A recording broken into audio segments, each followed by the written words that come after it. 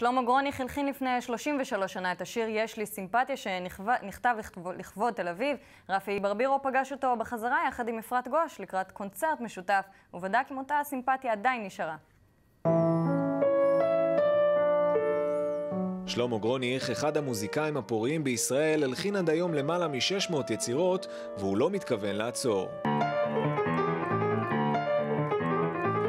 יש לי סימפתיה לאנשים שמתאמצים בתל אביב. אחד השירים המזוהים עם גרוניך הוא שיר אהבה לעיר הלבנה. השאלה אם זו אותה העיר עליה הוא שר. אני לא גר בה עכשיו הרבה שנים, אז uh, כטוריסט אני ממש uh, עוד יותר נהנה ממנה אפילו. יש בה איזה משהו, תחושה של uh, מגע עם, uh, עם עולם גדול ועם... Uh, תחושה של פחות בידוד.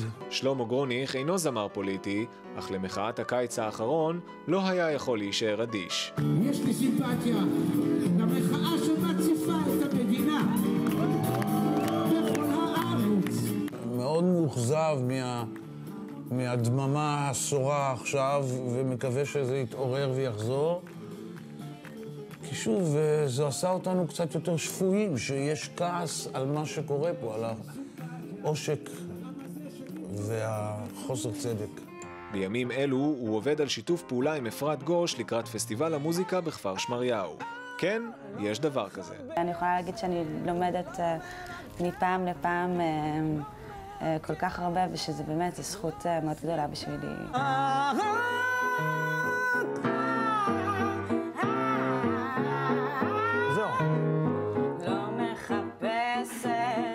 כאילו נדמה שהיא לא כל כך רצינית וכאלה כל מיני, אבל אני חושב שכשהיא עוסקת במוזיקה היא רצינית ושומעים את זה.